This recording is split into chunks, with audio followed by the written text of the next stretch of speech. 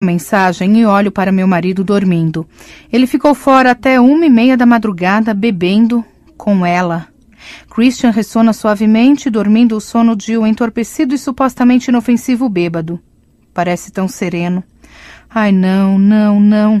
Sinto minhas pernas perderem a força e afundo lentamente na cadeira ao lado da cama, incrédula. Uma sensação de traição amarga, desleal e humilhante se abate sobre mim. Como ele pôde fazer isso? Como pôde procurar aquela mulher? Lágrimas de raiva descem queimando minhas faces. O medo e a cólera que ele sentiu, a necessidade de me agredir verbalmente, tudo isso eu posso entender e até perdoar. Mas isso, essa traição é demais para mim. Dobro os joelhos de encontro ao peito e abraço minhas pernas, protegendo a mim e ao meu pontinho. Balanço o corpo para frente e para trás, chorando silenciosamente. O que eu esperava? Eu me casei depressa demais com este homem. Eu sabia, sabia que ia dar nisso. Por quê? Por quê? Por quê? Como ele pôde fazer isso comigo? Ele conhece meus sentimentos em relação a essa mulher. Como ele pôde correr logo para ela? Como? Sinto uma adaga se torcer lenta e dolorosamente dentro do meu coração, dilacerando-o. Será que vai ser sempre assim? Através da cortina das minhas lágrimas, sua silhueta prostrada fica borrada e trêmula. Ai, Christian, eu me casei com ele porque eu amo e lá no fundo sei que ele também me ama. Sei disso. O presente de aniversário que ele me deu, de uma ternura extrema, me vem à mente. Por todas as nossas primeiras vezes, no seu primeiro aniversário como minha amada esposa. Beijo C. Não, não, não. Não posso acreditar que vai ser sempre assim dois passos para frente e três para trás. Mas é assim que tem sido com ele.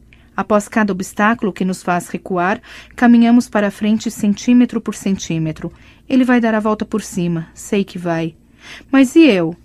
Será que vou me recuperar dessa. dessa traição? Penso em como ele se comportou nesse último fim de semana que foi tão horrível quanto maravilhoso. A força silenciosa que ele me transmitiu enquanto meu padrasto jazia ferido e em coma na UTI, minha festa surpresa, a preocupação de trazer os amigos e parentes, a cena em frente ao hotel, me jogando para trás apoiada nos seus braços e me beijando na frente de todos. Ai, Christian, você leva minha confiança e minha fé ao limite. E eu amo você. Agora, porém, não posso pensar só em mim mesma. Coloco a mão na barriga.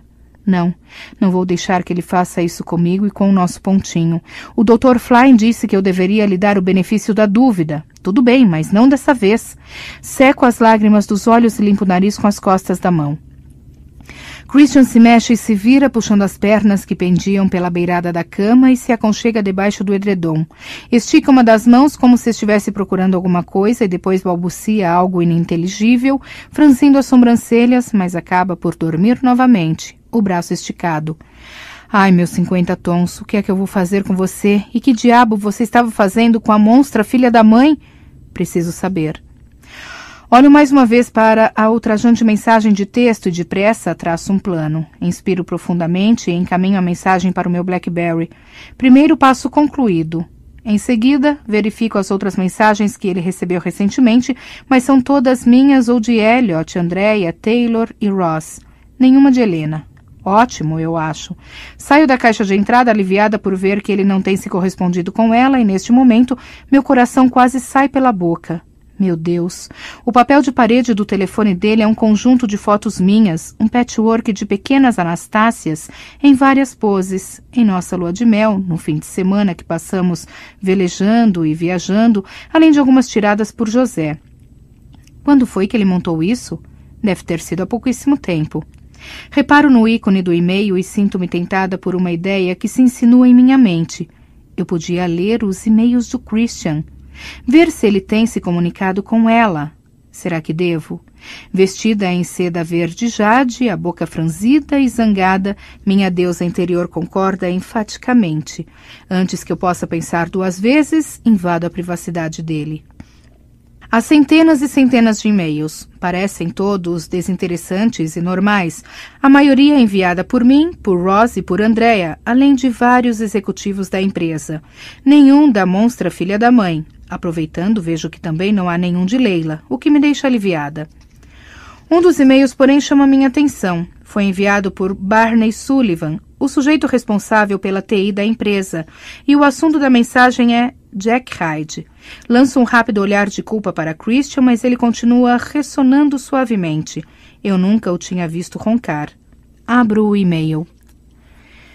De Barney Sullivan, assunto Jack Hyde. Data 13 de setembro de 2011, 14 horas e 9 minutos para Christian Grey. O rastreamento da caminhonete branca que conseguimos fazer pelas câmeras de segurança de Seattle só chegam até a rua South Irving. Antes disso, não consigo encontrar nenhum rastro, então Hyde deve ter partido daquela área. Como é o que já lhe disse, o carro do elemento foi alugado por uma mulher desconhecida com uma carteira falsa, mas nada liga o veículo à área da South Irving. No arquivo anexado seguem detalhes de funcionários conhecidos da GEH e da CIP que moram na área. Enviei o arquivo também para o Elk. No computador que Hyde usava na CIP não havia nada sobre suas ex-assistentes. Só para lembrar, aqui vai uma lista do que foi obtido no computador de Hyde na CIP. Endereços de residências dos Gray. Cinco propriedades em Seattle, duas propriedades em Detroit. Resumos detalhados das vidas de Carrick Gray, Elliot Gray, Christian Gray, doutora Grace Trevelyan, Anastasia Steele, Mia Gray artigos de jornais impressos e digitais relacionados a Doutora Grace Trevelyan, Carrick Gray, Christian Gray, Elliot Gray. Fotografias: Carrick Gray, Doutora Grace Trevelyan, Christian Gray, Elliot Gray, Mia Gray. Vou continuar investigando para ver se encontro mais alguma coisa. B. Sullivan, diretor de TI, Gray Enterprises Holdings Inc. Esse meio estranho desvia minha atenção momentaneamente desta noite de infortúnio. Clico no anexo para verificar os nomes da lista, mas obviamente é imensa, extensa demais para ser aberta no BlackBerry. O que eu estou fazendo? É tarde, tive um dia desgastante. Não encontrei e-mails da monstra filha da mãe ou de Leila Williams, o que já me deixa um pouco reconfortada. Olho para o relógio. Já são pouco mais de duas da madrugada. Hoje foi um dia repleto de revelações. Vou ser mãe e meu marido andou confraternizando com a inimiga. Bom, ele que arque com as consequências. Não vou ficar dormindo aqui com ele. Ele que acorde sozinho amanhã de manhã. Depois de deixar o Blackberry dele na mesa de cabeceira, apanho minha bolsa que está ao lado da cama e, após um último olhar para o meu angelical Judas adormecido, saio do quarto. A chave reserva do quarto de jogos está no local costumeiro, no armário da lavanderia. De posse da chave, corro lá para cima. Pego o travesseiro, edredom e lençóis do armário de rouparia, depois destranco a porta do quarto de jogos e entro ajustando a luz para uma iluminação suave. É esquisito eu achar o aroma e o ambiente desse cômodo reconfortantes, considerando que acabei usando a palavra de segurança na última vez que estive aqui. Tranco a porta após entrar, deixando a chave na fechadura. Sei que de manhã Christian vai ficar fora de si tentando me encontrar e acho que ele não vai me procurar aqui se a porta estiver trancada. Bem feito para ele. Eu me aconchego no sofá Chesterfield, enrolo-me no edredom e tiro meu Blackberry da bolsa. Encontro a mensagem de texto da diabólica monstra filha da mãe que eu encaminhei do telefone de Christian para mim mesma. Aperto encaminhar e digito. Vai querer que a senhora Lincoln esteja presente quando discutirmos esta mensagem que ela mandou para você? Assim não vai precisar correr até ela depois. Sua esposa. Aperto enviar e coloco o celular no modo silencioso. Então me encolho embaixo do edredom. Apesar de minha suposta bravura, sinto-me esmagada pela enormidade da decepção que tive com Christian. Essa deveria ser uma ocasião feliz. Puxa, vamos ser pais.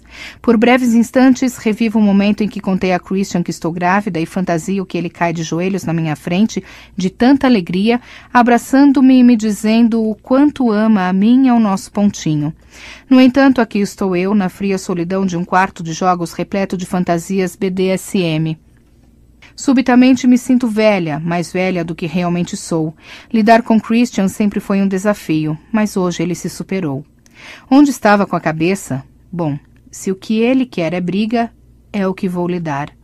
De jeito nenhum vou aceitar que ele se veja no direito de correr para aquela mulher monstruosa sempre que tivermos um problema. Ele vai ter que escolher, ou ela ou eu e o nosso pontinho. Fungo baixo, mas estou tão exausta que logo caio no sono. Acordo sobressaltada, momentaneamente desorientada. Ah, sim, estou no quarto de jogos. Como não há janelas, não faço ideia de que horas são. A maçaneta da porta chacoalha. Ana! grita Christian lá de fora. Congelo onde estou, mas ele não entra. Ouço vozes indistintas, mas depois se afastam. Solto o ar dos pulmões e vejo as horas no Blackberry. São sete e meia e há quatro chamadas perdidas e duas mensagens de voz. As chamadas são quase todas de Christian, mas tem também uma de Kate. Ah, não. Ele deve ter ligado para ela. Não tenho tempo para ouvir os recados. Não quero chegar atrasada no trabalho. Eu me enrolo no edredom e pego minha bolsa antes de me dirigir à porta. Destranco-a devagar e espio do lado de fora. Ninguém à vista. Ai, merda. Talvez eu esteja sendo meio melodramática. Reviro os olhos para mim mesma, depois respiro fundo e desço as escadas.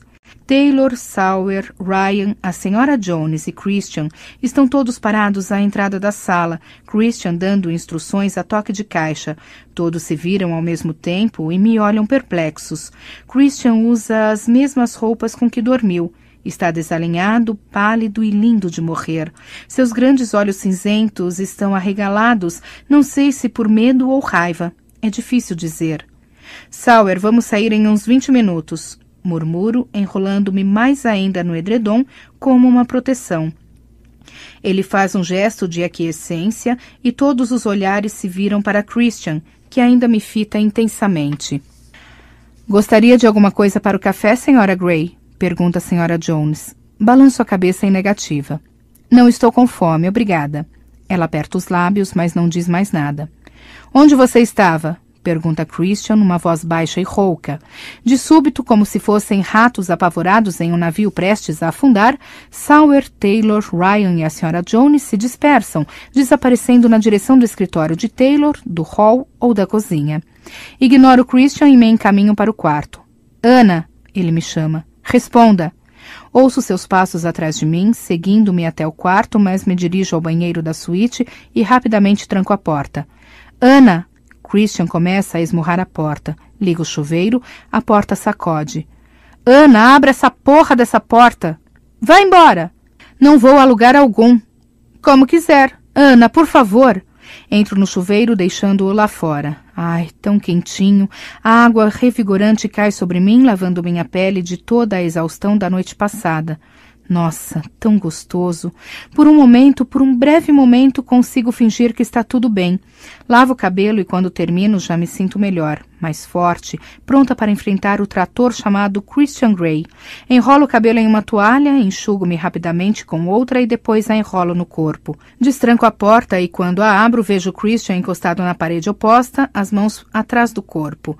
Ele tem uma expressão prudente, semelhante à de um predador sendo caçado. Passo rapidamente por ele e entro no closet. Você está me ignorando? Pergunta Christian, incrédulo, parado à porta do closet. Que perspicaz você!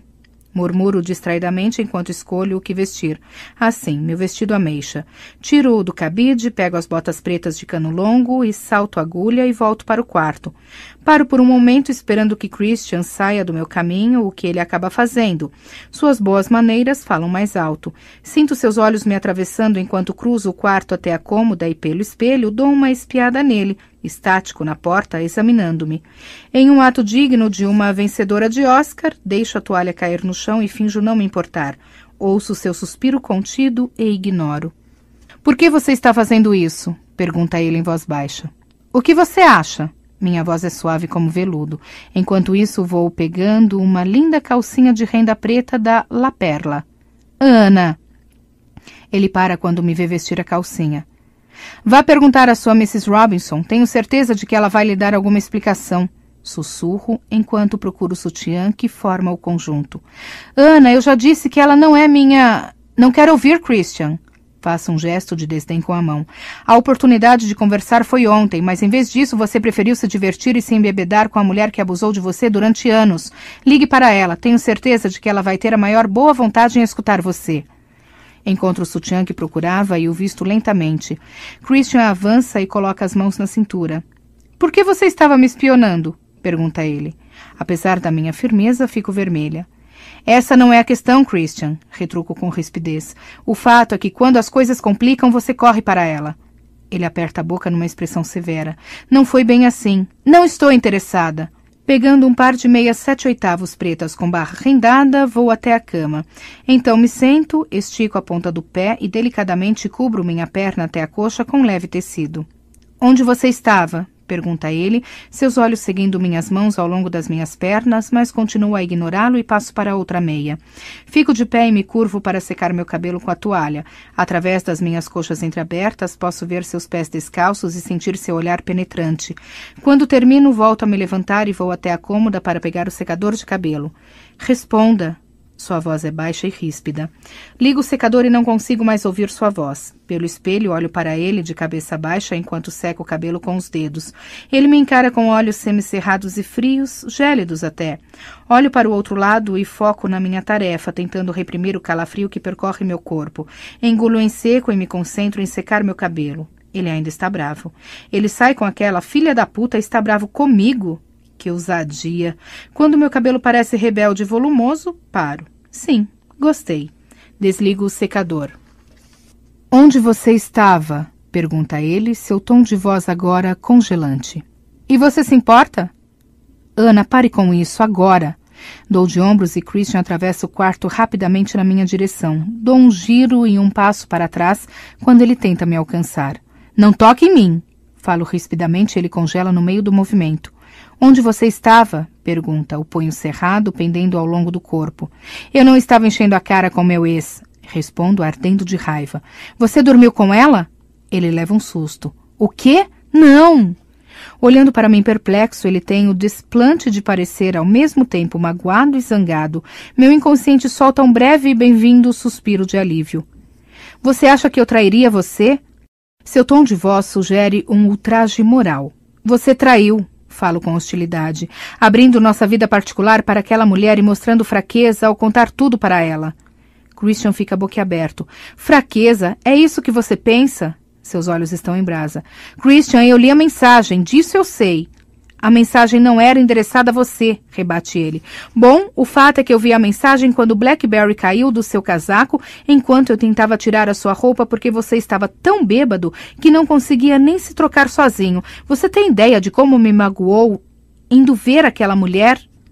Ele empalidece por um instante, mas eu engatei a primeira e continuo, soltando minha fera interior. Você se lembra da noite passada, quando chegou em casa? Lembra-se do que disse? Ele me encara sem reação, o rosto estático. Pois bem, você tinha razão. Tendo que escolher, eu escolho este bebê indefeso em vez de você. É o que faria qualquer mãe ou pai decente. É o que a sua mãe deveria ter feito com você. E eu lamento muito que ela não tenha feito isso, porque não estaríamos nesta discussão agora se ela tivesse agido de outra maneira. Só que você já é um adulto, então cresça, porra. Olhe à sua volta e pare de agir como um adolescente petulante. Você pode não estar feliz com este filho. Também não estou dando pulos de alegria por não ser a hora e por causa da sua reação mais que indiferente a este novo ser, sangue do seu sangue, carne da sua carne. Mas você pode encarar essa situação junto comigo ou eu vou encarar sozinha. A decisão é sua. Enquanto você se afunda no seu poço de autopiedade e auto-ódio, eu vou trabalhar. E quando voltar, vou levar minhas coisas para o quarto de cima. Ele me olha em choque. Agora, se me der licença, eu queria terminar de me vestir. Minha respiração é ofegante. Muito lentamente, Christian dá um passo para trás, adotando uma atitude mais madura. É isso que você quer? sussurra ele. Não sei mais o que eu quero. Meu tom de voz reflete o dele e faço um esforço monumental para fingir desinteresse ao molhar as pontas dos dedos com hidratante e passar suavemente no rosto. Eu me olho no espelho. Enormes olhos azuis, rosto pálido, mas faces rosadas. Você está se saindo muito bem. Não ceda agora. Não ceda agora. Você não me quer? murmura ele. Ai, não. Ai, não. Nem comece com isso, Gray. Ainda estou aqui, não é? Retruco. Pego o rímel e começo a passar no olho direito. Você pensou em me deixar? Mal ouço suas palavras. Quando seu marido prefere a companhia da ex-amante, não costuma ser um bom sinal. Lanço o desdém apenas no nível necessário, fugindo da pergunta dele. Agora brilho labial. Com a boca brilhante, faço um biquinho para minha imagem no espelho. Fique forte, Steele. Quer dizer, Gray. Puta merda, nem consigo me lembrar do meu sobrenome. Apanho as botas, vou até a cama novamente e as calço, puxando-as até a altura dos joelhos. Isso aí. Estou só de calcinhas, sutiã e botas, bem sexy. Sei disso. Eu me levanto e olho para ele sem paixão. Ele pisca várias vezes e seus olhos percorrem meu corpo rápida e avidamente. Eu sei o que você está fazendo, murmura ele e sua voz adota um viés quente e sedutor. Sabe, é? Minha voz falha. Não, Ana, aguente firme. Ele engole em seco e avança, dou um passo para trás e levanto as mãos. Nem pense nisso, Gray. Sussurro ameaçadoramente. Você é minha esposa, diz ele, suave e ameaçador. Sou a mulher grávida que você abandonou ontem e se você tocar em mim, vou gritar até arrebentar os vidros. Ele levanta a sobrancelha sem acreditar. Vai gritar, é? Até morrer, estreita os olhos. Ninguém iria ouvir você, murmura ele, encarando-me intensamente e por um breve momento me lembro da nossa manhã em Aspen. Não, não, não. Está tentando me assustar? Balbucio, quase sem fôlego, deliberadamente tentando detê-lo. Funciona. Ele para e engola em seco. Não era minha intenção. Ele franze a testa. Mal consigo respirar. Se ele me tocar, não vou resistir. Conheço o poder que ele exerce sobre mim e sobre meu corpo traiçoeiro. Conheço bem. Então me agarro à minha raiva. Eu tomei um drink com uma pessoa que costumava ser próxima de mim. Só para espairecer. Não vou vê-la de novo. Você a procurou? Não de primeira. Tentei entrar em contato com o Flying, mas acabei indo para o salão de beleza. E você espera que eu acredite que não vai mais ver aquela mulher? Não consigo conter minha fúria ao cuspir as palavras. E da próxima vez que eu cruzar uma linha imaginária? É sempre a mesma briga, toda vez a mesma coisa. Parece até que estamos presos à roda de Ixion. Se eu fizer mais alguma merda, você vai correr para ela outra vez? Não vou vê-la de novo, diz ele com uma determinação desconcertante. Ela finalmente entendeu como eu me sinto. Leva um tempo para absorver suas palavras. O que isso quer dizer? Ele se enrijece e passa a mão no cabelo, irritado, bravo e mudo. Tenta uma tática diferente. Por que você pode falar com ela e não comigo? Eu estava zangado com você, como estou agora. Não me diga, disparo. Pois bem, eu estou zangada com você agora, por você ter sido tão frio e insensível ontem, quando eu precisava de você, por me acusar de engravidar deliberadamente o que não foi o caso, por me trair. Consigo engolir um soluço. Ele abre a boca chocado e fecha os olhos por um instante, como se eu tivesse lhe dado uma bofetada. Engulo em seco. Acalme-se, Anastácia. Eu deveria ter sido mais cuidadosa com as aplicações do anticoncepcional, mas não foi de propósito. Esta gravidez também é um choque para mim balbucio tentando um mínimo de civilidade. Além do mais, o método pode ter falhado. Ele me encara com ar de reprovação em silêncio. Você fez muita merda ontem, sussurro, a raiva fervendo dentro de mim. Passei por poucas e boas nas últimas semanas. E você fez uma merda das grandes três ou quatro semanas atrás, ou sei lá, quando você esqueceu de tomar a injeção. Bom, Deus me ajude a não ser perfeita como você. Ai, pare, pare, pare. Ficamos ali imóveis, fulminando um ao outro com o olhar. Bela performance, senhora Gray, sussurra ele. Fico feliz de saber que, mesmo grávida, sou uma boa diversão. Ele me olha sem expressão e murmura. Preciso tomar um banho. E já chega do meu espetáculo de cabaré. É um ótimo espetáculo, aliás, sussurra ele e dá um passo à frente. Novamente eu dou um passo para trás. Não ouse. Odeio quando não me deixa tocar em você. Que ironia, não? Seus olhos se estreitam ainda mais. Não decidimos muita coisa, não é? Eu diria que não. Só decidi me mudar para o outro quarto. Os olhos dele se arregalam e brilham por um breve instante. Ela não significa nada para mim. A não ser quando você precisa dela. Eu não preciso dela, preciso de você. Você não precisou de mim ontem. Aquela mulher é um limite rígido para mim, Christian. Ela não faz mais parte da minha vida. Como eu queria acreditar em você. Puta que pariu, Ana! Por favor, preciso terminar de me vestir. Ele suspira e passa a mão no cabelo novamente. Vejo você à noite, diz, a voz fria e destituída de qualquer emoção. E por um breve momento tenho vontade de envolvê-lo em meus braços e tranquilizá-lo, mas resisto, porque estou irada demais. Ele se vira e se dirige ao banheiro. Permaneço estática até ouvir a porta se fechar. Vou cambaleante até a cama e me jogo. Não recorria a lágrimas ou gritos ou homicídio, nem sucumbia a seus encantos de especialista em sexo. Mereço uma medalha de honra. No entanto, me sinto lá no chão, Merda, não resolvemos nada. Estamos à beira de um precipício. Será que nosso casamento está correndo perigo? Como é que ele não consegue perceber que agiu como um completo babaca quando foi se encontrar com aquela mulher? E o que ele quer dizer ao afirmar que nunca mais vai vê-la de novo? Afinal, como é que eu vou conseguir acreditar nisso? Olho para o relógio. Oito e meia. Droga, não quero me atrasar. Inspiro profundamente. O segundo assalto terminou em empate técnico, pontinho. Sussurro, afagando a barriga. Papai talvez seja uma causa perdida, mas espero que não. Por que, Pontinho? Por que você veio tão cedo? Agora que as coisas estavam ficando boas. Meus lábios tremem, mas respiro fundo para me recuperar e controlar minhas emoções. Vamos, Pontinho, vamos lá arrasar no trabalho. Não me despeço de Christian. Ele ainda está no chuveiro quando Sauer e eu saímos. Fico olhando para fora pelos vidros escuros do SUV e nesse momento minha postura desaba e meus olhos se enchem de lágrimas. Meu estado de espírito se reflete no céu cinzento e lúgubre e tenho um mau pressentimento. Não chegamos a conversar sobre o bebê. Tive menos de 24 horas para assimilar a novidade do meu pontinho. Christian teve ainda menos tempo.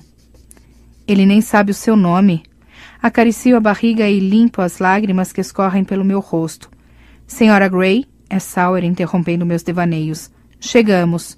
Ah, obrigada, Sauer. Vou dar um pulo na confeitaria, madame. A senhora quer alguma coisa? Não, obrigada. Não estou com fome. Hannah me recebe com meu café com leite já pronto. Tomo um golinho e meu estômago fica embrulhado. Hum, pode me trazer um chá, por favor? Murmuro constrangida. Eu sabia que havia uma razão para eu nunca ter gostado muito de café. Nossa, que cheiro ruim. Você está bem, Ana? Faço que sim e corro para a segurança do meu escritório. O Blackberry toca. É Kate. Por que Christian estava procurando você? Pergunta ela sem preâmbulos. Bom dia, Kate. Tudo bem? Poupe-me do papo furado, estilo. O que aconteceu? E assim começa o interrogatório de Catherine Kavanagh. Christian e eu brigamos, só isso. Ele machucou você? Revira os olhos. Sim, mas não do jeito que você está pensando. Não quero me abrir com Kate agora. Sei que vou chorar e no momento estou orgulhosa de mim mesma por não ter desabado esta manhã. Kate, eu tenho uma reunião, depois eu ligo. Ok, você está bem? Sim. Não. Eu ligo mais tarde. Tudo bem, Ana, como quiser. Se precisar, estou aqui. Sei disso. Sussurro, lutando contra a torrente de emoções que me vem por causa das palavras amigas de Kate. Não vou chorar, não vou chorar. O Ray está bem? Está, murmuro. Ai, Ana, sussurra ela. Não diga nada. Tudo bem, a gente se fala mais tarde. Certo. No decorrer da manhã, de vez em quando verifico meu e-mail na esperança de encontrar alguma palavra de Christian mas não há nada. À medida que o dia transcorre, percebo que ele simplesmente não vai entrar em contato comigo e que ainda está zangado. Ora, eu também estou zangada. Entrego-me ao trabalho fazendo uma pausa apenas para comer um sanduíche de salmão e cream cheese na hora do almoço. É impressionante como me sinto melhor depois de conseguir comer alguma coisa. Às cinco, Sauer e eu vamos ao hospital fazer uma visita a Ray. Sawyer está mais vigilante do que o normal, chega a ser exageradamente solícito. É irritante. Quando nos aproximamos do quarto de Ray, ele me interpela. A senhora quer um chá enquanto visita seu pai? Não, obrigada, Sawyer. Estou bem. Vou esperar lá fora. Ele abre a porta para mim e fico aliviada ao me ver livre dele por alguns instantes. Ray está sentado na cama lendo uma revista. Está barbeado e usa uma camisa de pijama. Parece novamente o Ray que eu conheço. Oi, Annie. Ele sorri e seu rosto murcha. Ai, papai. Corro para ele e, em um gesto pouco usual de sua parte, ele abre os braços e me acolhe. Anne, sussurra, o que aconteceu? Ele me abraça apertado e beija meu cabelo. Enquanto estou assim aninhada em seus braços, percebo como são raros esses momentos entre nós dois. Por que será? E será que é por isso que gosto de ficar no colo de Christian? Depois de um minuto, solto-o e me sento na cadeira ao lado da cama. Ele tem o senho franzido em uma expressão de preocupação. Conte ao seu velho. Balanço a cabeça. Ele não precisa dos meus problemas nesse momento. Não é nada, pai. Você está com uma aparência boa. Aperto sua mão. Já estou me sentindo recuperado, apesar dessa perna engessada me acossando. Acossando? A palavra me faz sorrir. Ele retribui o sorriso. A coçar soa melhor que coçar. Ah, pai, fico tão feliz de ver você bem. Eu também, Anne. Ainda vou querer colocar meus netinhos sentados nesse joelho acossado um dia. Não ia perder isso por nada no mundo. Olho para ele receosa. Merda, será que ele sabe? E luto contra as lágrimas que teimam em surgir nos cantos dos meus olhos. Você e o Christian estão bem? Tivemos uma briga, murmuro, tentando falar, mesmo com o nó que aperta minha garganta. Mas a gente supera. Rei aquece. Ele é um homem bom, seu marido, diz ele para me reconfortar. Ele tem seus momentos. O que os médicos disseram? Não quero continuar a falar sobre o meu marido agora. É um assunto doloroso. Quando chego em casa, Christian ainda não voltou. Christian ligou e disse que ficaria trabalhando até tarde. Informa-me, senhora Jones, em tom de quem pede desculpas. Ah, obrigada por me avisar. Por que ele próprio não me avisou? Puxa, ele realmente está levando sua pirraça para um patamar acima. Por breves instantes me recordo da briga que tivemos sobre nossos votos de casamento e sobre a fúria que se apoderou dele na ocasião. Mas dessa vez eu é que fui magoada. O que gostaria de comer? A senhora Jones tem um brilho forte e determinado no olhar. Massa. Espaguete, penne, fuzile. Ela sorri. Espaguete, com o seu molho à bolonhesa. É para já. E Ana, você deveria ter visto como o Sr. Gray ficou transtornado hoje de manhã quando ele achou que você tinha ido embora. Ficou fora de si. Ela sorri amigavelmente. Ah. Às nove horas, ainda nada de Christian. Sentada à minha mesa na biblioteca, fico matutando onde ele pode estar. Telefono para ele. Ana, atende ele, a voz fria. Oi. Ele inspira suavemente. Oi, diz ele mais baixo. Você vem para casa? Mais tarde. Está no escritório? Claro, onde mais eu estaria? Com ela. Vou deixar você trabalhar então. Ambos continuamos na linha, o silêncio entre nós se alongando e se avolumando. Boa noite, Ana, diz ele afinal. Boa noite, Christian. Ele desliga. Ai, merda, fico olhando para o Blackberry. Não sei o que ele espera que eu faça. Não vou deixar que passe por cima dos meus sentimentos.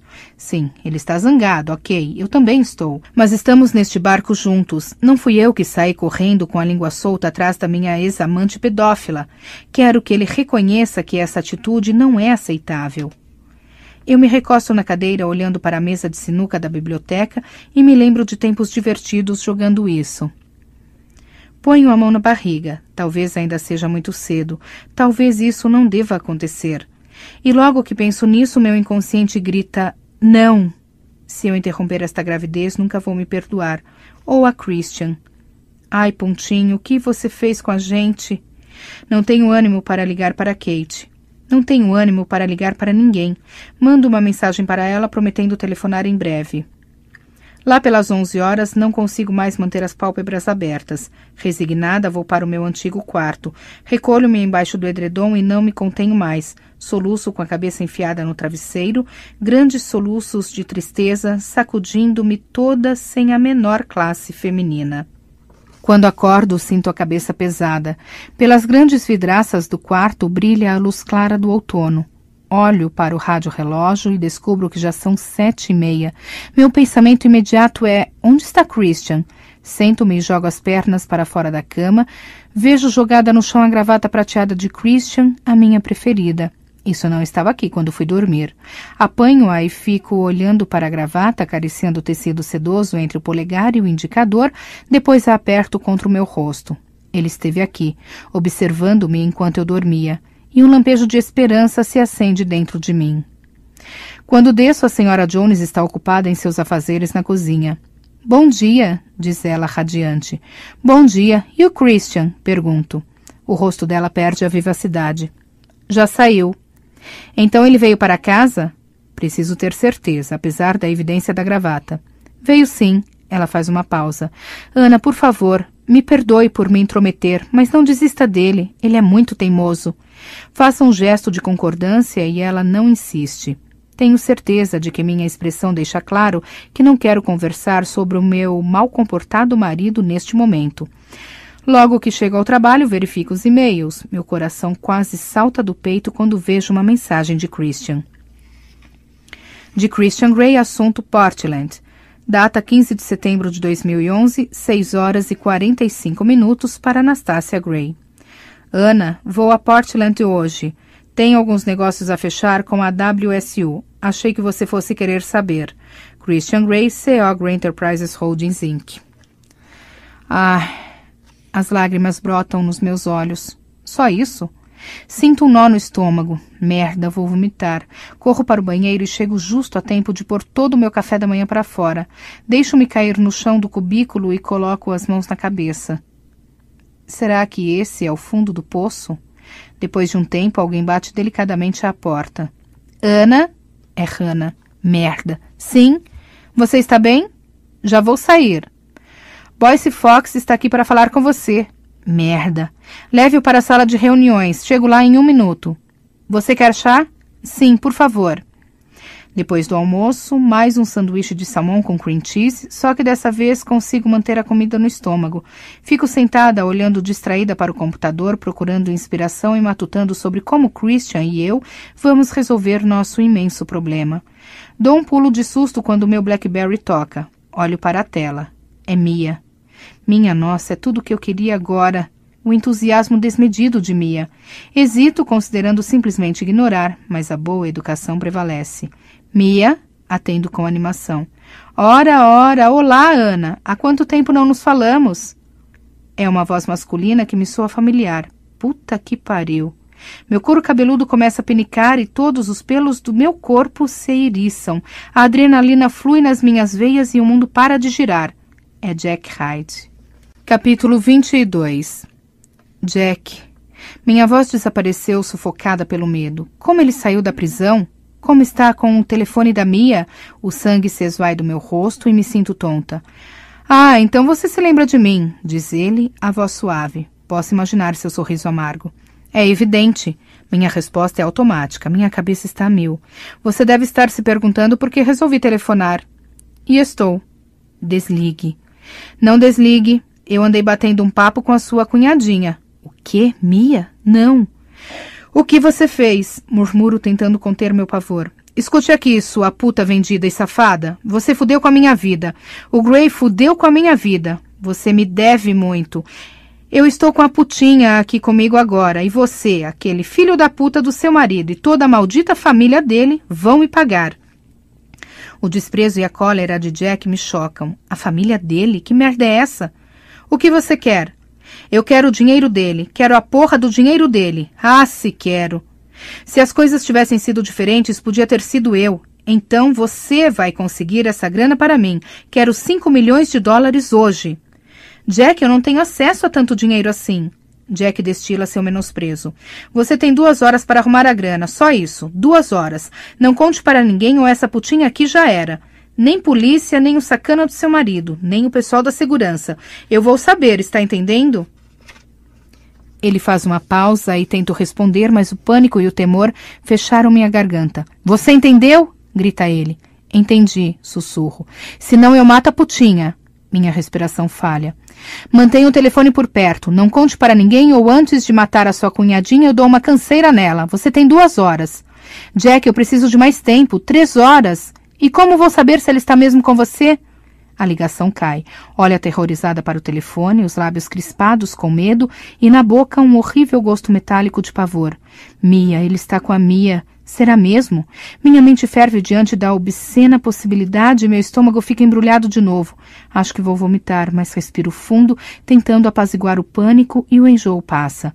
Rapidamente considero as possibilidades. Contar a Christian? Contar a Taylor? Chamar a polícia? Como Jack vai saber? Será que ele realmente sequestrou Mia? Preciso de tempo. Tempo para pensar, mas só vou conseguir isso se seguir as instruções dele. Pego a bolsa e corro até a porta. Hannah, vou ter que sair. Não sei ao certo quanto tempo vou demorar. Cancele todos os meus compromissos desta tarde. Avise a Elizabeth que precisei resolver um assunto urgente. Claro, Ana, está tudo bem? Ela franze a testa, sua fisionomia demonstrando preocupação ao me ver sair correndo. Sim, respondo distraidamente, dirigindo-me às pressas para a recepção onde Sauer me espera. Sauer? Ele salta da poltrona ao som da minha voz e franze o senho ao notar a expressão no meu rosto. Não estou me sentindo bem. Por favor, me leve para casa. Claro, madame. Quer esperar aqui enquanto pego o carro? Não, vou com você. Estou com muita pressa de chegar em casa. Olho pela janela em completo terror enquanto repasso meu plano. Chegar em casa, trocar de roupa, pegar o talão de cheques, dar um jeito de me livrar de Ryan e Sauer, ir ao banco. Droga, quanto espaço será que ocupam 5 milhões de dólares? Será que pesa muito? Vou precisar de uma mala? Será que tenho que telefonar para o banco com antecedência? Mia, Mia. E se ele não estiver com a Mia, como posso ter certeza? Se eu telefonar para Grace, ela vai desconfiar e isso pode colocar a vida de Mia em risco. Ele disse que tinha como saber. Olho pelo vidro escuro do SUV. Será que estou sendo seguida? Examino os carros atrás de nós, meu coração disparado. Parecem inofensivos. Ah, Sauer, mais rápido, por favor. Meus olhos encontram os dele pelo retrovisor e sua expressão preocupada se acentua. Sauer pressiona um botão do meu headset de Bluetooth para atender a uma chamada. T, só queria que você soubesse que a senhora Gray está comigo. Seus olhos encontram os meus mais uma vez antes de ele voltar sua atenção novamente para o tráfego e continuar com a ligação. Ela não está se sentindo bem e pediu para ir para casa. Estamos a caminho do Scala. Entendi, senhor. Mais uma vez, Sauer tira os olhos da rua para me fitar pelo espelho. Tudo bem, concorda ele e desliga. Taylor? murmuro. Ele anui com a cabeça. Ele está com o Sr. Gray? Sim, madame. Sua expressão se suaviza, mostrando solidariedade. Eles ainda estão em Portland? Estão, madame. Ótimo, tenho que proteger Christian. Levo a mão à barriga e a esfrego conscientemente. E você também, Pontinho. Proteger vocês dois. Podemos ir mais depressa, por favor? Não estou me sentindo bem. Certo, madame. Sauer pisa no acelerador e nosso carro avança pelo trânsito. A senhora Jones não se encontra em nenhum lugar à vista quando Sauer e eu entramos no apartamento. Já que o carro dela não está na garagem, presumo que tenha saído com Ryan para resolver alguma coisa qualquer. Sauer se dirige ao escritório de Taylor enquanto eu disparo para o de Christian. Fico tateando em pânico sobre a mesa dele e arrombo a gaveta para pegar o talão de cheques. O revólver de Leila escorrega para a frente. Sinto uma pontada inconveniente de aborrecimento por Christian não ter guardado a arma em local mais seguro. Ele não entende nada de armas. Céus, vai acabar se machucando. Depois de hesitar por um minuto, pego o revólver, verifico se está carregado e o enfio no cós da minha calça preta folgada. Talvez eu venha a precisar. Engulo em seco. Até hoje eu só pratiquei em alvos. Nunca apontei uma arma para ninguém. Espero que Ray me perdoe. Concentro-me então em descobrir o talão de cheques correto. Há cinco deles e apenas um nos nomes de C. Gray e Senhora A. Gray. Tenho cerca de 54 mil dólares na minha conta particular. Não faço ideia de quanto há na conta conjunta, mas é bem capaz de que Christian tenha 5 milhões. Será que há dinheiro no cofre? Droga, não faço ideia do segredo. Acho que uma vez ele mencionou que o segredo estava no armário de arquivos. Tento abrir o armário, mas está trancado.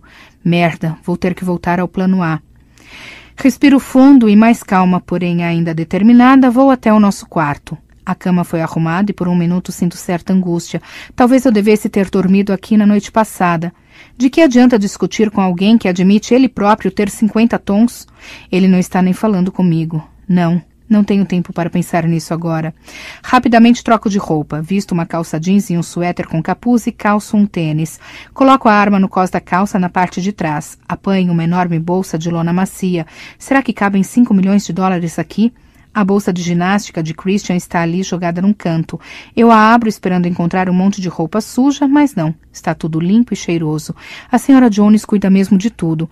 Despejo o conteúdo todo no chão e a coloco dentro da minha bolsa de lona. Bom, acho que isso vai ser suficiente. Verifico se estou com minha carteira de motorista para apresentar no banco e olho as horas. Faz 31 minutos que Jack ligou. Agora eu só tenho que sair do escala sem Sauer me ver. Caminho lenta e silenciosamente até o hall, ciente da câmera de vigilância que fica acoplada no elevador. Acho que Sauer ainda está no escritório de Taylor. Abro com cuidado a porta do hall, fazendo o mínimo de ruído possível. Fecho-a atrás de mim em silêncio e fico embaixo da soleira, apoiada na porta, longe do campo de visão das lentes da câmera. Pego o celular da bolsa e ligo para Sauer. Pronto, senhora Gray. Sauer, estou no quarto de cima. Você pode vir aqui me ajudar? Digo em voz baixa, pois sei que ele está aqui perto, poucos metros depois desta porta. Já estou indo, madame, respondi ele e percebo que ficou confuso. Eu nunca tinha telefonado para ele pedindo ajuda. Meu coração parece que vai sair pela boca, batendo num ritmo instável e frenético. Será que isso vai dar certo?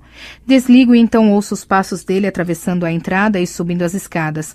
Respiro fundo mais uma vez, tentando me tranquilizar, enquanto por um momento penso em como é irônico ter que fugir da minha própria casa como um marginal. Logo que Sauer chega ao segundo andar, corro até a porta do elevador e pressiono o botão para chamá-lo. As portas se abrem com um plim alto demais, anunciando que o elevador chegou. Entro e aperto furiosamente o botão da garagem. Após uma pausa agonizante, as portas começam a se fechar devagar e é então que ouço Sauer gritar. Senhora Gray! Assim que as portas do elevador se fecham, eu vejo despontar no hall. Ana! Chama ele sem acreditar no que está acontecendo, mas já é tarde demais e sua figura desaparece de vista. O elevador desce suavemente até o nível da garagem. Tenho alguns minutos de vantagem sobre Sauer e sei que ele vai tentar me deter. Olho desejosa para meu R8, mas corro para o Saab. Abro a porta, jogo a bolsa de lona no banco do carona e me sento ao volante. Ligo o carro e saio cantando o pneu até a entrada, onde fico esperando 11 intermináveis segundos até a cancela se abrir. Assim que posso, acelero, a tempo de ver pelo espelho retrovisor Sauer saindo em disparada do elevador de serviço. Sua expressão desnorteada e injuriada me persegue quando viro para pegar a quarta avenida. Solto finalmente o ar, preso esse tempo todo. Sei que Sauer vai ligar para Christian ou Taylor, mas depois eu vejo o que fazer. Não tenho tempo para pensar nisso agora. Eu me mexo desconfortável no banco do carro, sabendo no fundo do coração que Sauer provavelmente perdeu o emprego. Não pense. Tenho que salvar Mia. Preciso chegar ao banco e sacar 5 milhões de dólares. Olho pelo retrovisor esperando ver o SUV saindo desvairado da garagem, mas vou me distanciando sem o menor sinal de Sauer. O banco é moderno, agradável e de bom gosto. Há burburinho de vozes baixas, pisos que ecoam os passos das pessoas e vidro verde jateado para todo lado. Vou até o balcão de informações. Posso ajudá-la, madame? A jovem me dá um sorriso largo e falso e por um instante eu me arrependo de ter vestido calça jeans. Eu gostaria de retirar uma quantia considerável de dinheiro. A senhorita sorriso falso arqueia uma sobrancelha ainda mais falsa. A senhora tem conta conosco? Ela não consegue ocultar o sarcasmo. Tenho, Falo rispidamente. Meu marido e eu temos diversas contas aqui. O nome dele é Christian Grey. Os olhos da moça se ampliam quase imperceptivelmente. Sua falsidade dá lugar ao choque. Ela me olha de alto a baixo mais uma vez, agora numa mistura de descrença e admiração. Por aqui, madame, murmura e me conduz até uma sala pequena com poucos móveis e paredes do mesmo vidro verde jateado. Por favor, sente-se. Ela aponta para uma cadeira de couro preto perto de uma mesa de vidro onde estão um computador de última geração e um telefone. Quanto a senhora gostaria de sacar hoje, senhora Gray? Pergunta ela amavelmente. Cinco milhões de dólares. Eu a fito nos olhos como se fosse uma quantia que eu retirasse diariamente. Ela empalidece. Muito bem, vou chamar o gerente. Ah, desculpe perguntar, mas a senhora trouxe algum documento de identificação? É claro, mas eu gostaria de falar com o gerente. Certamente, senhora Gray. Ela sai depressa da saleta. Eu afundo na cadeira com uma onda de enjoo ao sentir a arma pressionando a base das minhas costas. Agora não, não posso vomitar aqui. Respiro fundo e o enjoo passa. Consulto o relógio nervosa. Duas e vinte e cinco. Um senhor de meia idade entra na saleta. Seu cabelo é escasso e ele veste um terno cor de carvão, caro e bem cortado, e uma gravata do mesmo tom. Ele estende a mão. Senhora Gray, meu nome é Troy Whelan. Ele sorri, apertamos as mãos e ele se senta do outro lado da mesa. Fui informado de que a senhora gostaria de retirar uma grande quantia de dinheiro. É verdade, 5 milhões de dólares. Ele se vira para o impecável computador e digita alguns números. Normalmente solicitamos que nos avisem com antecedência em casos de retirada de valores tão altos. Ele faz uma pausa e me lança um sorriso tranquilizador, mas arrogante. Felizmente, porém, nós dispomos da reserva de caixa para toda a região do noroeste do Pacífico. Vangloria-se. Meu Deus, será que ele está tentando me impressionar? Senhor Wellan, eu estou com pressa. O que preciso fazer? Trouxe minha carteira de motorista e o talão de cheques da nossa conta conjunta. É só eu preencher um cheque? Uma coisa de cada vez, senhora Gray. Posso ver sua identidade? Ele se transforma de jovial exibido para bancário eficiente. Aqui está. Entrego-lhe o documento. Senhora Gray, aqui diz Anastasia Steele. Ai, merda. Ah, é mesmo. Hum, Vou ligar para o Sr. Gray. Ah, não, não vai ser necessário. Merda. Devo ter algum documento com o nome de casada. Procuro dentro da bolsa. Que documento tem o meu nome de casada? Pego a carteira, abro-a e vejo uma fotografia minha de Christian na cama, na cabine do Fair Lady. Não posso mostrar isso a ele. Pego o meu Amex preto. Aqui está. Senhora Anastácia Gray. O Alan leu o nome impresso. Acho que isso vai ser suficiente. Ele franze o senho. Esse procedimento é bastante irregular, senhora Gray. O senhor quer que eu diga ao meu marido que o seu banco não foi muito solícito comigo? Empertigo os ombros e lanço-lhe meu olhar mais ameaçador. Ele para por um instante, reavaliando-me, acho. A senhora vai ter que preencher um cheque, senhora Gray. Claro, desta conta? Mostro o talão de cheques a ele, tentando controlar meu coração acelerado. Sim, está ótimo. Também vou precisar que a senhora preencha alguns papéis. Pode me dar licença um instante? Faça um gesto de anuência e ele se levanta e sai da sala com um porte arrogante. Novamente solto o ar preso. Não imaginei que isso seria tão difícil. Desajeitada, abro o talão e tiro uma caneta da bolsa. Coloco ao portador? Não faço ideia. Com dedos trêmulos escrevo cinco milhões de dólares. Ai, meu Deus, tomara que eu esteja fazendo a coisa certa. Mia, pense em Mia. Não posso contar para ninguém. As repugnantes e ameaçadoras palavras de Jack me assombram. Não conte para ninguém ou antes de matar a sua cunhadinha eu dou uma canseira nela. O Sr. Wellan retorna, o rosto pálido e encabulado. Senhora Gray, seu marido quer falar com a senhora, murmura ele e aponta para o telefone sobre a mesa de vidro. O quê? Não. Ele está na linha 1, é só apertar o botão. Vou esperar lá fora. Ele pelo menos tem a dignidade de parecer constrangido. Judas perde para o. Sinto o sangue fugir do meu rosto e fecho a cara para o Ellan depois que ele sai da sala.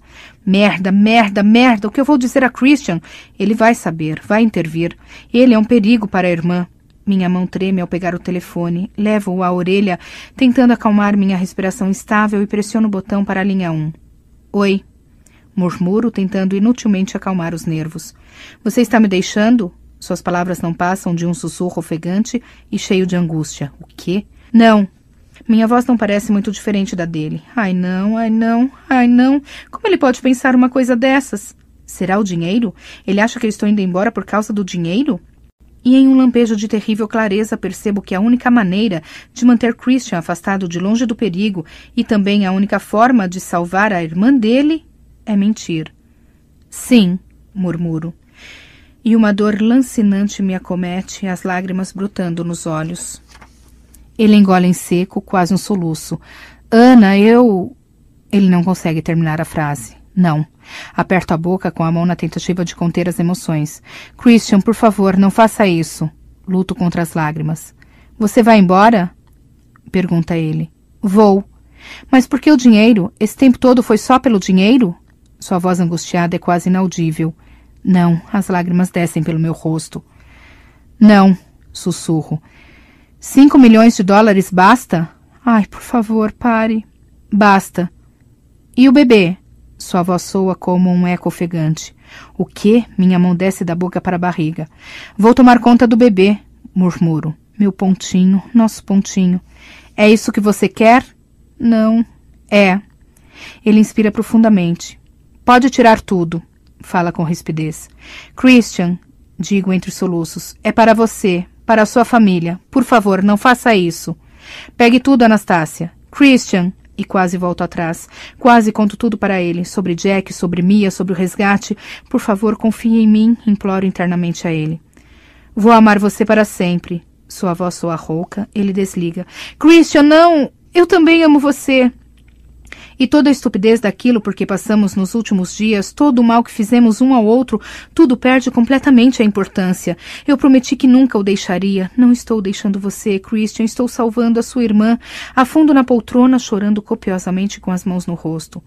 Sou interrompida por uma tímida batida na porta. Wellan entra, embora eu não tenha respondido. Ele olha para todos os lados, menos para mim. Está mortificado. Você ligou para ele, seu filho da mãe. Eu fuzilo com o olhar. Seu marido concordou em resgatar 5 milhões de dólares dos investimentos, Sra. Gray. Isso é bastante irregular, mas, como nosso principal cliente, ele insistiu na transação. Insistiu muito. Ele faz uma pausa e cora. Depois franze o senho ao olhar para mim, e não sei se é por Christian estar agindo de forma bastante incomum ou porque o Elan não sabe o que fazer com uma mulher aos prantos em sua sala. A senhora está bem? pergunta ele. Eu pareço bem? Retruco. Sinto muito, madame. Quer um copo d'água? Aqueço com expressão emburrada. Acabo de abandonar meu marido. Bom, pelo menos é o que Christian acha. Meu inconsciente torce os lábios. Por que você disse isso a ele? Vou pedir que lhe tragam água enquanto eu providencio o dinheiro. Se a senhora puder assinar aqui, madame, preencher o cheque e assinar também. Whelan coloca um formulário em cima da mesa. Rabisco minha assinatura na linha pontilhada do cheque do formulário. Anastasia Gray. As lágrimas caem na mesa, quase molhando a papelada. Vou levar os documentos, madame. Será preciso cerca de meia hora para levantar todo o montante. Dou uma rápida olhada no relógio. Jack pediu duas horas. Tudo deve acabar no tempo previsto. Faço que sim com a cabeça e o Elan sai do escritório pé ante pé, deixando-me sozinha com a minha dor. Alguns segundos, minutos, horas depois, não sei dizer, a senhorita Sorriso Falso retorna com uma jarra de água e um copo. Senhora Gray, diz ela suavemente ao colocar o copo em cima da mesa e enchê-lo. Obrigada. Pego o copo e bebo com alívio. Ela se retira, deixando-me ali com meus pensamentos confusos e aterradores. Vou encontrar algum modo de me acertar com Christian, se não for tarde demais. Pelo menos ele está fora de cena. Neste exato momento, tenho que me concentrar em Mia. E se Jack estiver mentindo? E se não a tiver sequestrado? Eu realmente deveria avisar a polícia. Não conte para ninguém ou antes de matar a sua cunhadinha eu dou uma canseira nela. Não posso. Eu me recosto na cadeira, sentindo a presença reconfortante do revólver de Leila preso à minha cintura, cravado às minhas costas. Quem diria que algum dia eu seria grata a Leila por ter apontado uma arma para mim? Ah, Ray, estou tão feliz que você tenha me ensinado a atirar. Ray, engulo em seco. Eu combinei de visitá-lo hoje à noite. Talvez eu possa simplesmente deixar o dinheiro com Jack. Ele pode fugir enquanto eu levo Mia para casa. Ah, isso parece absurdo. Meu Blackberry toca Your Love is King, preenchendo o recinto. Ah, não. O que Christian quer? Torcer a faca que cravou nas minhas feridas? Esse tempo todo foi só pelo dinheiro? Ai, Christian, como você pode pensar isso? A raiva me consome. Isso mesmo, raiva. Isso vai ajudar. Deixo a chamada cair na caixa postal. Vou ver o que faço com meu marido mais tarde. Alguém bate a porta. Senhora Gray? É o Ellen. A quantia já está pronta. Obrigada. Eu me levanto e o escritório parece rodar. Apoio-me na cadeira. Senhora Gray está se sentindo bem? Aqueço e lanço para ele um olhar do tipo: saia da minha frente agora mesmo. Inspiro profundamente de novo para me acalmar. Tenho que fazer isso, tenho que fazer isso. Preciso salvar a Mia. Puxo a bainha do suéter para baixo de modo a esconder o cano do revólver nas minhas costas. O Sr. Whelan franze a testa, mas mantém a porta aberta e eu me forço a sair, caminhando sobre minhas pernas trêmulas. Sauer está esperando na entrada, olhando em volta. Merda, nossos olhares se cruzam e ele franze as sobrancelhas, avaliando minha reação. Ai, ele está possesso. Levanta o indicador como se dissesse: Já vou falar com você. Ele concorda com o aceno de cabeça e atende a uma chamada no celular. Merda, aposto que é Christian. Bruscamente dou meia volta, quase colidindo com Ellen logo atrás de mim, e me precipito novamente para dentro da sala. Senhora Gray, diz Ellen, parece confuso ao ir atrás de mim até a saleta. Sauer poderia estragar todo o plano. Ergo o olhar para o Ellen. Tem uma pessoa ali fora com quem eu não quero falar. Ele está me seguindo. Os olhos de Whelan se arregalam. A senhora quer que eu chame a polícia? Não. Puta merda, não. O que eu vou fazer? Verifico as horas. São quase 13 e 15. Jack vai telefonar a qualquer momento. Pense, Ana, pense. Whelan me fita com crescente desespero e perplexidade. Ele deve achar que eu sou louca. Você é louca, retruca meu inconsciente. Preciso dar um telefonema. O senhor poderia me dar licença, por favor? É claro, responde Whelan, e acho que ele fica aliviado ao sair da sala. Quando ele fecha a porta, ligo para o celular de Mia com dedos trêmulos. Ora, ora, se não é o meu bilhete de loteria, atende Jack com escárnio. Não tenho tempo para a conversa mole dele. Estou com um problema. Eu sei, o seu segurança seguiu você até o banco. O quê? Como ele sabe? Você vai ter que se livrar dele. Eu tenho um carro esperando atrás do banco, um SUV preto, um Dodge. Você tem três minutos para chegar lá. O Dodge. Talvez leve mais do que três minutos. Meu coração quase sai pela boca de novo. Você é bem esperta para uma puta vendida, Gray. Vai dar um jeito. E jogue fora seu celular assim que alcançar o veículo, entendeu, piranha? Entendi. Repita, ordena ele rispidamente. Entendi. Ele desliga. Merda. Abro a porta e vejo Wellan esperando-me pacientemente. Senhor Wellan, preciso de ajuda para levar as sacolas para o carro. Está estacionado lá fora, atrás do banco. Existe alguma saída nos fundos? Ele franze o senho. Existe sim, para os funcionários. Podemos sair por ali? Assim eu evito a atenção indesejada na porta principal. Como preferir, Sra. Gray. Vou pedir a dois funcionários para ajudarem com as sacolas e dois seguranças. Venha comigo, por favor. Vou pedir mais um favor ao senhor. Às suas ordens, Sra. Gray. Dois minutos depois, eu e minha comitiva estamos na rua nos dirigindo para o Doge. Os vidros são escuros e não consigo distinguir quem está na direção. Porém, quando estamos nos aproximando, a porta do motorista se abre e uma mulher vestida de preto, com um boné também preto puxado de forma a cobrir os olhos, desce graciosamente do carro. Elizabeth, da CIP. Como assim? Ela vai até a traseira do SUV e abre o porta-malas. Os dois jovens funcionários do banco que estão carregando o dinheiro depositam as pesadas sacolas ali dentro. Senhora Gray, ela tem a audácia de sorrir como se estivéssemos em um passeio amigável. Elizabeth, meu cumprimento é glacial. Que bom ver você fora do escritório.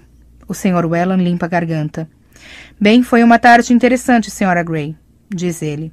E sou forçada a realizar as formalidades sociais de cumprimentá-lo e agradecer-lhe enquanto minha mente está a mil. Elizabeth, porque ela se juntou a Jack. Whelan e seu grupo retornam para o banco, deixando-me sozinha com a chefe de recursos humanos da CIP, que está envolvida em sequestro, extorsão e muito possivelmente outros crimes. Por quê? Elizabeth abre a porta de trás e faz sinal para eu entrar. Seu telefone, senhora Gray? pede ela, observando-me com desconfiança. Eu entrego nas suas mãos e ela o joga numa lata de lixo próxima. Isso vai dar uma despistada, diz presunçosa. Afinal, quem é esta mulher? Ela fecha minha porta com violência e se senta ao volante. Olho para trás, tensa, à medida que ela dá partida e sai com o carro, seguindo na direção leste. Não vejo Sauer em lugar algum. Elizabeth, você já está com dinheiro. Ligue para o Jack. Diga a ele para soltar a Mia. Acho que ele quer agradecer pessoalmente. Merda. Encaro-a com um olhar pétreo pelo retrovisor. Ela empalidece e uma careta ansiosa desfigura seu rosto tão bonito. Por que está fazendo isso, Elizabeth? Achei que você não gostasse do Jack.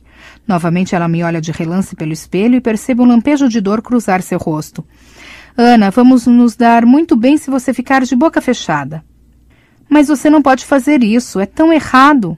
Calada, diz ela, mas noto seu desconforto. Ele está coagindo você de alguma maneira? Pergunto.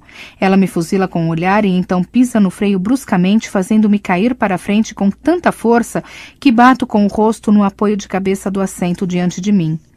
Eu mandei ficar calada, fala ela rispidamente, e sugiro que coloque o cinto de segurança. E neste momento eu vejo que sim, ele tem algum meio de coagi-la. Algo tão terrível que ela está disposta a fazer isso. Fico pensando por um instante o que poderia ser. Desfalque na companhia? Algo da vida pessoal dela? Algo sexual? Estremeço só de pensar. Christian disse que nenhuma das ex-assistentes pessoais de Jack quis falar. Talvez seja a mesma história com todas elas. É por isso que ele quis transar comigo também. Sinto a Billy subir a boca, enojada ante esse pensamento. Elizabeth se afasta do centro de Seattle e começa a subir rumo às colinas que ficam a leste. Logo estamos passando por ruas residenciais. Avisto uma das placas, Rua South Irving. Ela vira abruptamente para a esquerda em uma rua deserta, onde de um lado há um parque infantil decadente e do outro um amplo estacionamento em concreto, ladeado por uma fileira de prédios baixos e vazios, feitos de tijolinhos vermelhos. Ela entra no estacionamento e para diante do último prédio. Então se vira para mim. Hora do show, murmura. Meu couro cabeludo começa a penicar, a adrenalina e o medo fluindo no meu organismo. Você não precisa fazer isso, sussurro em resposta. Elizabeth aperta os lábios, sua boca formando uma linha severa, e ela desce do carro. Isso é pela Mia, isso é pela Mia. Rezo rapidamente. Por favor, que ela esteja bem. Por favor, que ela esteja bem. Saia, ordena Elizabeth rispidamente, abrindo a porta de trás com um puxão. Merda. Quando desço do carro, minhas pernas tremem tanto que não sei se vou conseguir me manter de pé. A brisa fresca do fim de tarde traz o aroma do outono vindouro, assim como o cheiro de poeira e cal vindo dos prédios abandonados. Ora, ora, vejam só! Jack emerge de uma porta pequena e coberta de tábuas à esquerda do prédio. Ele cortou o cabelo, tirou os brincos e está usando um terno. Um terno? Ele se aproxima a passos lentos, destilando arrogância e ódio. As batidas do meu coração chegam ao máximo. Onde está a Mia? Gaguejo, minha boca tão seca que mal consigo articular as palavras. Existem prioridades, piranha. Zomba ele, parando bem na minha frente. Quase consigo sentir o gosto do seu desprezo. Cadê o dinheiro? Elizabeth está examinando as sacolas no porta-malas. Tem uma montanha de dinheiro aqui, diz ela, estupefata, abrindo e fechando cada sacola. E o celular? No lixo. Ótimo, diz Jack, quase rosnando, e do nada ele me dá um tapa, batendo as costas da mão contra o meu rosto com força. O golpe violento e gratuito me joga no chão e minha cabeça resvala no concreto com uma pancada nauseante. Minha cabeça explode de dor, meus olhos se enchem de lágrimas e minha visão fica embaçada, o choque do impacto ressoando e liberando uma agonia que lateja no meu crânio. Solto um grito baixo de pavor, choque e sofrimento. Ai não, pontinho. Jack não perde